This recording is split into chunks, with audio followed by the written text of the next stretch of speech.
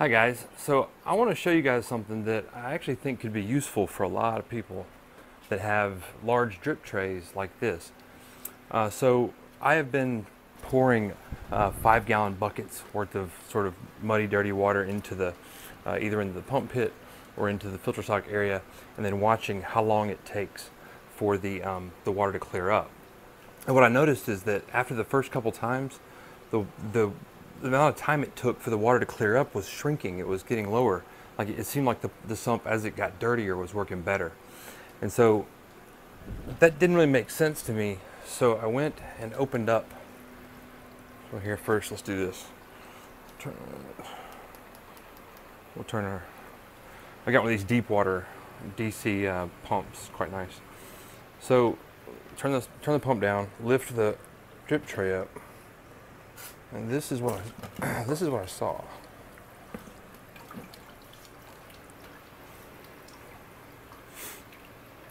All right, so basically what's happening is the, the water's the water's spilling through those circles onto these um, polyester, you know, filter pads.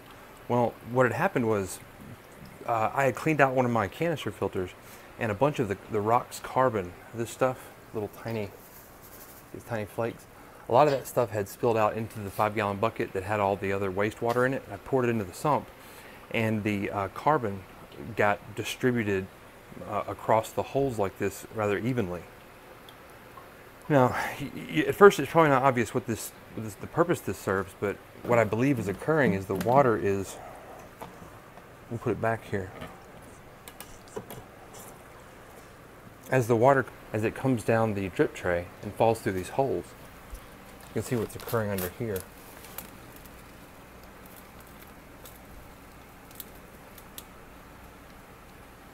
So that the, the water's really slow. It, it's moving slowly. It's just kind of a light pour.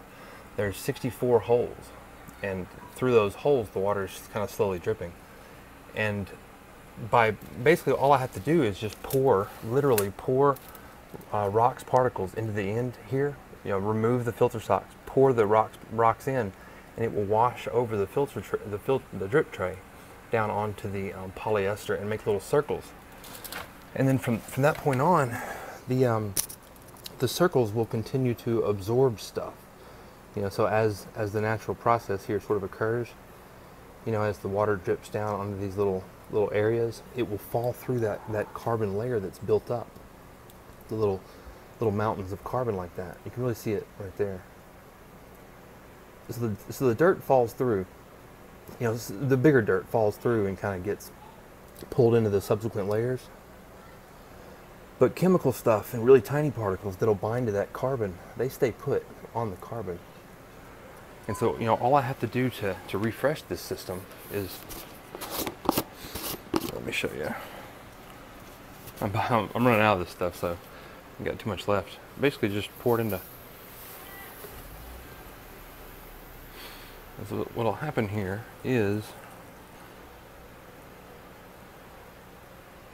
the ROX will gradually, as it sinks, will get pulled out over the drip tray. It'll get pulled underneath and You can see it traveling up. See it? So that's the baffle. So it, it comes, the, the water pours in from the tank into the uh, filter sock pit and then under the baffle and then over the top right there and out onto the drip tray. And so that that process automatically distributes the carbon you know, quite nicely, and you can actually see it coming over the top. If you look very closely, it's actually hard to see. But those, you can see the little carbon pieces running around. They're trying to find a hole. So those little pieces of carbon are, are being deposited on this, this layer. And then the water is dripping through the, the carbon deposit and the, uh, the filter pad layer. And I think that's really effective. I really do because uh, it's it's easy to, to manage. You know, you you just uh, pull off the drip tray, uh, either pour more ROX in the top up here. Let's give this a little help. Pour more ROX in the top to, to let it recharge. You know, to, to, basically put another layer on top of the drip tray, um, or you can just pull the drip tray up and remove that top layer of of material.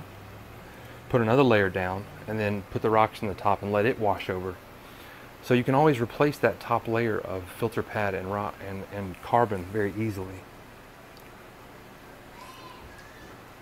So the key here is the water velocity. You know, you, you got to get your holes spread out right. You can see I have it tuned really well. Like the water washes up almost to the end, pretty close. Well, and this is on low actually. Let's uh, let's crank it up. All right, so now it's it's running full blast, and you can see the water's really washing now.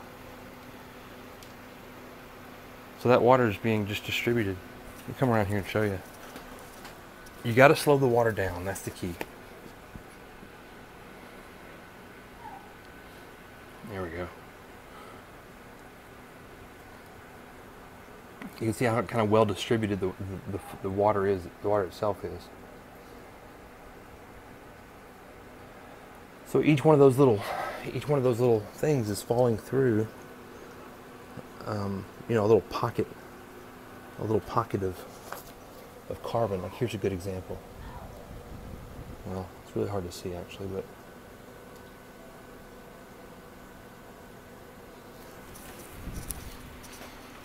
I like this. I, am gonna I'm gonna invoke something very much like this. Uh, once the sump is connected to the main tank, I'm going to use this mechanism. I'm going to intentionally um, I'm to intentionally flood the uh, the sump with this ROX carbon. I'm to let it get caught just like this did. So let me show you guys one more time.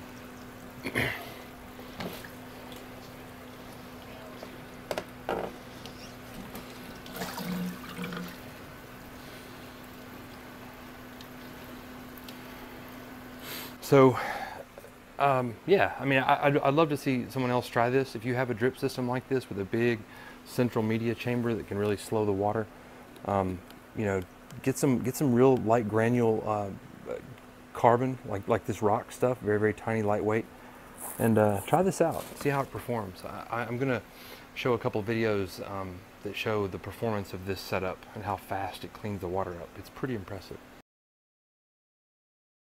This is me pouring um, the first Fluval filters contents into the sump.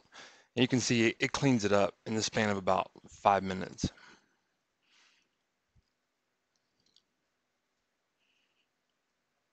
So here's the second test. This one's got got better lighting. You can really see. I mean, look at the clock at the top right. Look how fast it is. So, and that's that's just that that filter sandwich in the middle. You know, there are parts missing um, from from the sump. You know, the, the filter socks are not up there, and the uh, carbon purigen uh, final stage right before the pump is not installed. Uh, yet it still has no problem, you know, restoring the, uh, the the water to crystal clear.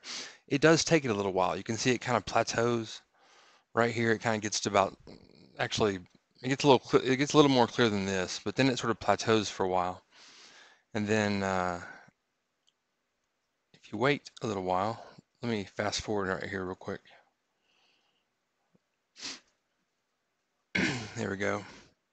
So over the course of like, I don't know, maybe 30 minutes or so, uh, the water goes from utterly and completely brown to the point that it won't it won't transfer light to uh, nearly perfectly clear. And I really do credit a lot of that to, to, to the carbon, the little carbon mountains. So, um, yeah, uh, comments, questions. You think this is dumb? If you think it's cool, if you have other ideas, uh, let me know. Hit me up in the contents or uh, check out the live stream. It's on 24 hours a day and uh, all about fish all the time. Anyway, good luck, guys.